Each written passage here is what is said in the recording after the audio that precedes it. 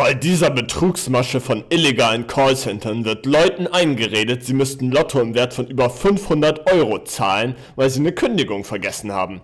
Das ist natürlich frei erfunden. Was ich mich gefragt habe, wie reagiert so eine Betrügerin, wenn man so tut, als hätte wegen ihrem Abzockanruf die Freundin mit einem Schluss gemacht? Und noch interessanter, wie reagiert sie, wenn man am Ende auflöst, dass das mit der Freundin gelogen war? Kleiner Spoiler, sie war nicht gerade glücklich. Mit Herrn Arthas Lich hätte ich gern gesprochen. Äh, das bin ich. Von der Buchhaltungszentrale aus München rufe ich Sie an, Herr Lich. Schönen guten Und Tag. zwar, guten Tag. Und zwar muss ich Sie darauf hinweisen, dass sich Ihre Laufzeit in Übereinstimmung mit den AGBs kostenpflichtig auf neun Monate verlängert worden ist. Deshalb auch die Frage, werden Sie den jetzt fälligen Gewinnspielbeitrag von monatlich 67,50 Euro per Überweisung oder mit den sicheren Lastschriftverfahren begleichen? Ähm, geht auch Bitcoin? Bitte? Äh, was ist denn mit Bitcoin? Höhe von 9 mal 67,50 Euro. Ich sollte Sie nur fragen, wie Sie das begleichen möchten oder haben Sie das vergessen zu kündigen, das Gewinnspiel? Oh, ich glaube, ich habe es vergessen, aber wenn ich es begleichen muss, dann wäre mir Bitcoin am liebsten. Als Währung. Was ist denn das? Bitcoin? Ja, Das ist eine Kryptowährung, ähm, die ist durch Mathe, also da ist quasi, ich weiß nicht, das kennen Sie ja so Federal Reserve, ne? Hinter dem Dollar steht ja ein Go Echtgeldwert an Gold, den die an Einlagerungsprozent haben. Und bei Bitcoins ist der Echtwert dahinter Mathe. Also ähm, da ist zum Beispiel jetzt 50 Bitcoin ist zum Beispiel das Pluszeichen wert. Das heißt, wenn man jetzt in der Mathematik das Pluszeichen besitzen will, dann muss man nur 50 Bitcoin bezahlen, dann gehört es einem. aber es ist ja so herrlich. Ja. Ich sehe nur zwei Varianten, entweder per Überweisung oder abbuchen lassen. Ach so, In Sie- Euro Sie, natürlich. Sie, Sie, Sie nehmen keine Bitcoins. Nein, also äh, das liegt ja nicht in meiner Hand. Wir sind ja hier in Deutschland, herrlich. Ja. Das heißt, äh, es gilt natürlich nur der Euro. Äh, aber ich habe mal eine Frage. Wollten Sie das denn kündigen? Was denn überhaupt? Ich weiß gar nicht, wovon Sie reden, um ehrlich zu sein. Herrlich, es geht jetzt über Ihnen um die Gewinn AG, Deutschlands größter Gewinnspiel-Hauptkonzern, wo Sie ich seit drei Monaten kostenlos ja registriert waren. Und weil keine Oh. Kündigung eingereicht worden ist, hat sich das kostenpflichtig auf neun Monate verlängert. Das Oder wissen Sie nichts? Nee, davon weiß ich nicht. Ach so. Also wenn das so ist, Herr Licht, dann kann ich Ihre Verwunderung vollkommen nachvollziehen, weil laut den Unterlagen, die ich ja jetzt hier liegen habe, bin ich ja davon ausgegangen, dass Sie sich das Spiel ja sogar selber ausgesucht haben. Nee, das letzte Spiel, was ich mir ausgesucht habe, war ähm, Hello Kitty, das große Inselabenteuer. Da habe ich das 400 ähm, extra Sterne-Pack gekauft, um die geheimen Level im äh, Wald des Lachens freizuschalten. Okay. Äh, aber haben Sie denn mal so zum Beispiel wie an einem Lotto-Gewinnspiel mal teilgenommen, Herr Licht? Ich habe mal so vor zwei Jahren so eine, Ab Ab so eine Abreibekarte für Lotto gekauft. Da habe ich zwei Euro gewonnen. Ja.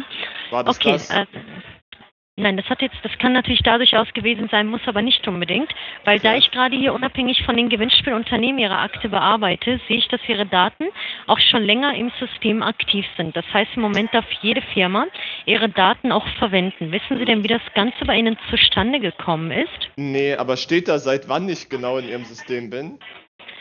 Also wie ich hier sehe, Herr Lich, wir sind ja auch nicht das Gewinnspielunternehmen persönlich, wir sind ja eine unabhängige Buchhaltungszentrale. Ähm, wie ich sehe, waren Sie jetzt die letzten drei Monate kostenlos registriert gewesen. Danach wurde es auf weitere neunmal 67,50 Euro verlängert ab dem 7., also ab dem Juli, da keine Kündigung eingereicht worden ist. Aber ich würde Ihnen gerne erstmal kurz die Hintergründe erklären, warum Ihre Daten überhaupt im System aktiv sind, sodass Sie wenigstens Bescheid wissen und dementsprechend richtig dagegen vorgehen können, gerade weil Sie auch innerhalb der nächsten fünf Werktage die Forderungen ja auch schriftlich erhalten werden.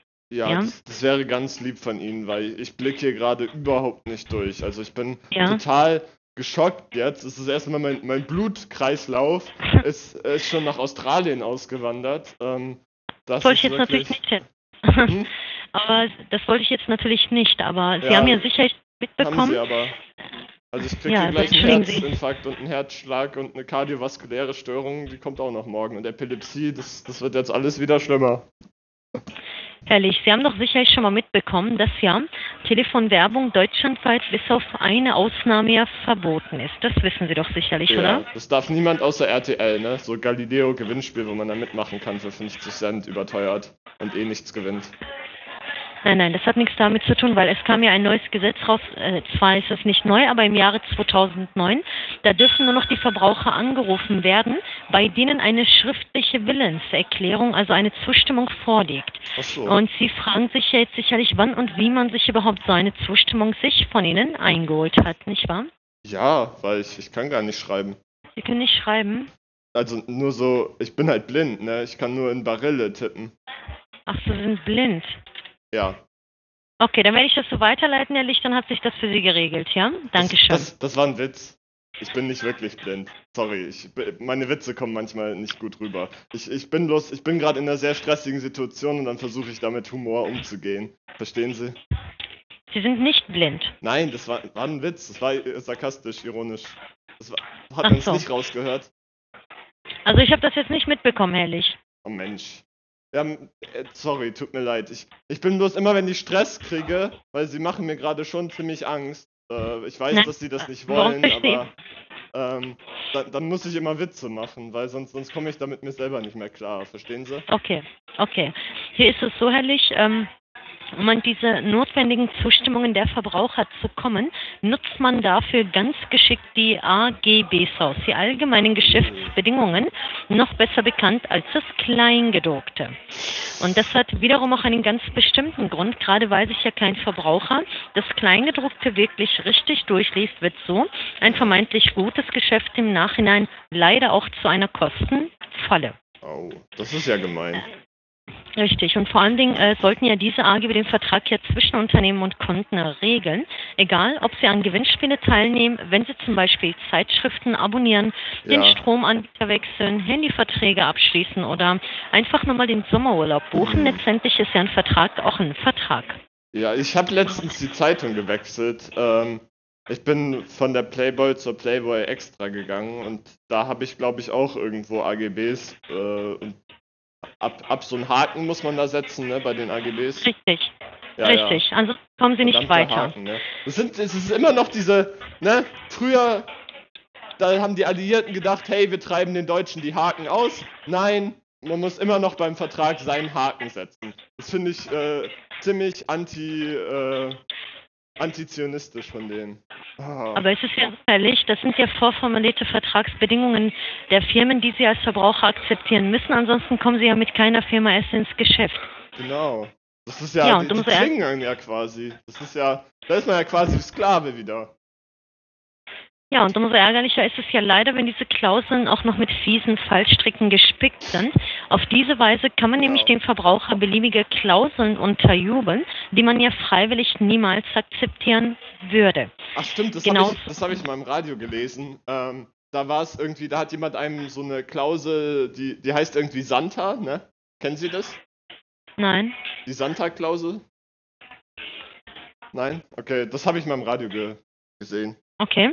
Also hier ist es letztendlich Ganz so. Herr Lich, Sie haben in der Vergangenheit äh, bei irgendeiner Teilnahme oder eine Bestellung das Kleingedruckte überlesen oder nicht so richtig beachtet, Mhm. weil somit haben Sie denen unbewusst aber auch die Erlaubnis gegeben, dass Ihre Daten wie Name, Anschrift, Telefonnummer und sogar Geburtsdatum unter allem an Dritte weiter vermittelt werden dürfen. Weil erst daraufhin durfte man dann ihre Daten letztendlich auch für Werbe- und Verwendungszwecke nutzen. Äh, können Sie sich das denn jetzt auch in etwa erklären, Herr Lich, wieso so viele Firmen sich so einfach auch ohne ihr Wissen sich an ihre Daten auch bedienen dürfen? Ja, das ist, aber das, was sie machen, das macht Sinn, weil ich glaube, es haben ganz viele Firmen meine Daten, weil ich krieg auch andauernd Anrufe, so von Leuten, äh, die mich irgendwie betrügen wollen mit irgendwelchen komischen Sachen, die ich gar nicht bestellt habe und so. Das hat ja nichts mit Betrügen zu tun, Herr Lich. Wenn Sie eine Zustimmung erteilen, dass Ja. man Sie anrufen und bei Gewinnspielen auch eintragen darf, dann tut man das ja letztendlich auch. Und vor allen Dingen hat man Sie äh, mit Ihrer Zustimmung bewusst im Internet bei mehreren kostenlosen Gewinnspielen eingetragen. Das hat zwei Gründe. Erstens, man braucht bei Internetgewinnspielen den Verbrauchern ja auch erst bei einem kostenpflichtigen Vertrag zu benachrichtigen, was ja der eigentliche Zweck meines Anrufes gewesen ist. Aber da Sie auch nichts von dem Eintrag wussten, haben Sie ja somit auch die Kündigung versäumt und das Spiel wurde so automatisch kostenpflichtig. Verdammt. Äh, Und da kann ja, ich jetzt mein- nichts machen, da muss ich jetzt einfach die neun Monate zahlen oder wie, wie. Ist das? Also richtig, richtig gesehen, Herr Lich, würde ich Ihnen ja auch wirklich gerne sagen, dass das Ganze hier bei Ihnen ein Fall für den Anwalt ist, nur wenn da halt nicht Ihre Zustimmungen vorliegen würden und der Vertrag ja aus Unwissenheit entstanden wäre. Aber Sie wissen auch, dass die Unwissenheit leider nicht vor Strafe schützt und deshalb ist die Aussicht auf einen Erfolg im Fall einer Gerichtsverhandlung äh, so gut wie ausgeschlossen. Und mittlerweile sind ja auch schon der Verbraucherzentralen die Hände gebunden, weil derenseits alle rechtlich erforderlichen Bedingungen auch erfüllt worden sind. Welche, aber ja, welche, welche Voraussetzungen macht die Ver Verbraucherschutzzentrale da denn? Weil von denen habe ich schon mal was Schlechtes gehört, dass die da überhaupt gar keine gescheiten Voraussetzungen liefern oder wie ist das? was meinen Sie mit Voraussetzungen? Ja, Sie haben gerade gesagt, es sind alle Ver Voraussetzungen vom Verbraucherschutz erfüllt. Welche Voraussetzungen sind das denn? Nein, nein, ich sagte ja, der Verbraucherzentrale sind die Hände gebunden, weil von den Gewinnspielunternehmen ja alles äh, auch rechtlich eigentlich nachweisbar ist, dass man sie ja nicht gezwungen hat, die AGBs zu akzeptieren, sondern die immer mit dem Vorwand akzeptieren, dass sie alles durchgelesen und mit allem ja einverstanden sind. Deswegen kann man äh, kann die Verbraucherzentrale da auch leider nichts machen. Gar man nichts. konnte sich aber genau, man konnte sich aber nach zahlreichen Beschwerden bei den Verbrauchern, die sich die neunmonatige Laufzeit vom finanziellen her nicht leisten können, auf eine Kostenminderung einigen nach dem Paragraphen 312d Absatz 3 des bürgerlichen Gesetzbuches. In Ihrem Fall wäre nur noch Welcher? entscheidend Welcher Paragraph war das? 312d D wie Dora Absatz 3 BGB? Bürgerlichen Gesetzbuch. Genau, das ist eine Kostenminderung, Herr Lich, wenn Sie halt sagen, Sie können sich das vom finanziellen her die neun Monate a 67,50 Euro nicht leisten. Eventuell dürften Sie dann von dem gesetzlichen Kündigungsrecht noch Gebrauch machen. Ich muss aber dazu auch erst im System nachschauen, ob die Umtragung noch möglich ist oder was das genau für Sie bedeutet. Das Ja. heißt, ähm, ich würde jetzt erstmal die Unterlagen bei mir behalten, mich im System über den Sachverhalt informieren. Kann ich Sie ungefähr in den nächsten 20 Minuten telefonisch nochmals erreichen? Äh, also ich muss so eine halbe Stunde fahre ich weg und dann bin ich erstmal zwei Wochen lang weg. Das heißt, da müssen Sie sich wirklich beeilen. Ich habe nicht so viel Zeit mehr. Können Sie es nicht Haben Sie jetzt keine schnell, Handynummer? können Sie es nicht jetzt schnell nachgucken? Ich mache es so herrlich, ich werde mich mal äh, schnell äh, informieren und mich ungefähr fünf bis zehn Minuten melden, ja? Ja, das wäre gut. Also beeilen Sie sich sonst, weil sonst bin ich weg und dann muss ich es für neun Monate nehmen. Das wäre ja doof. Okay, dann äh, sind Sie, haben Sie gar keine Handynummer? Ähm, ich habe nur ein Firmenhandy, die Nummer darf ich nicht rausgeben. Okay, dann melde ich mich gleich nochmals, herrlich, ja? Ja, vielen Dank. Ich, es tut mir Bitte, leid, ne? ich, ich wusste das wirklich nicht mit dem mit den Beendungen und so. Das, das hat Nein, mir nein, das niemand der- gesagt. Richtig, und deswegen wissen Sie jetzt wenigstens Bescheid, aber ich werde mich erkundigen und mich ungefähr in fünf Minuten melden, ja? Okay, danke schön. Bitte bis gleich. Tschüss. Tschüss. Hallo. Hallo, Herr Lich. So, Herr Lich, hören Sie mich denn? Ja, ich, ich, ich höre Sie. Weinen Sie gerade? Ich, ich, ich habe das gerade meiner Freundin erzählt und sie hat Schluss gemacht. Was? Wegen sowas? Ja. Also das ist doch kein Grund, um Schluss zu machen. Ich bitte Sie. Ich habe jetzt eine gute Nachricht für Sie. Ich werde Sie, ich kann Sie, Ehrlich, hören Sie mal Sie, ich zu. glaube, sie hasst. Ich, ich habe doch nichts falsch gemacht. Sie hat mir gesagt, dass es irgendwas mit AGBs war, aber sie hat gesagt, sie will jemanden, der zuverlässiger ist. Herr Lich, also schauen Sie mal, ich habe eine gute Nachricht für Sie. Ähm, ich kann Sie komplett, ich kann Sie komplett rausnehmen. Das werde ich auch tun, ja? Ja. Okay, das können Sie dann auch Ihre Freundin berichten. Ich habe es hier vermerkt, dass Sie auch wirklich nichts davon wussten. Sie wissen jetzt wenigstens für die Zukunft Bescheid und können sich auch vor solchen Machenschaften schützen. Und ich werde es hier so weiterleiten. Äh, Sie sind hier komplett dann raus. Es hat sich für Sie geregelt, okay? Okay. Dann rufen Sie am besten mal Ihre Freundin an und berichten Sie ihr auch die gute Nachricht aus, ähm, dass, Sie, Ja. dass sich das sowieso alles. Oder sagen Sie am besten einfach, dass das jemand anders war. Der Geburtsdatum sah- war nicht richtig oder so, können Sie ja sagen. Oh, Das ist doch ein anders, ein anderer Ja. Mann, Arthas Lich hieß. Allerdings war der zum Beispiel 1960 geboren. Das können Sie ihr sagen, dass das halt nicht um sich gehandelt hat. Dass Sie nicht Ah. die zuständige Person dafür waren. Ja, ich, es, es gibt so einen, jemanden aus meiner alten Klasse, der heißt äh, Illidan Sturmwind und der hat eine Freundin, die heißt Tyrande Wisperwind und die haben, die haben mich schon mal mit sowas ähnlichem verarscht. Ich kann ja sagen, die und Jaina Proudmore haben sich zusammengetan, um mir das anzutun, dann, dass es nicht meine Schuld war, ne? Okay, dann machen Sie das am besten so, Herr Licher. Wie gesagt, hier Ja. hat sich das dann für Sie geregelt, okay? Okay, Alles Gute dann. Tschüss. tschüss. Ah, warten Sie noch kurz. Bitte. Es gibt gar keine Freundin und ich weiß, dass das ein Betrugsversuch ist und dass ich Ihnen garantiert nichts zahlen muss, aber ich finde es schön, dass Sie wenigstens ein gutes Gewissen haben und nicht so, solche arme Leute abzocken. Vielen Dank. Bitte, ich habe Sie nicht verstanden, Herr Lich. Sie haben, Sie haben den Test bestanden. Finde ich gut, dass Sie wenigstens ein Abzocker sind, aber keiner komplett ohne Gewissen. Oh Gott, Herr Lich, geht's Ihnen eigentlich noch gut? Ja, mir geht's sehr gut. Ich habe gar keine Was, Freunde. Sie, was heißt hier, dass Sie Abzucker sind? Das ist ja echt unverschämt. Nö, das war ein Test und Sie haben bestanden. Herzlichen Glückwunsch. Sie sind nur ein bisschen ein schlechter Mensch, nicht total schlechter Mensch. Okay, die Rechnung für die neun Monate werden Sie schriftlich bekommen, ja? Ich heiße ja nicht Arthas Licht, deshalb ist mir das ziemlich egal. Okay, die Rechnung werden Sie trotzdem bekommen. Das Ganze wurde auch aufgezeichnet, damit Sie Bescheid wissen. Ja, ich habe auch Einen alles aufgezeichnet und werde sie ins Internet stellen.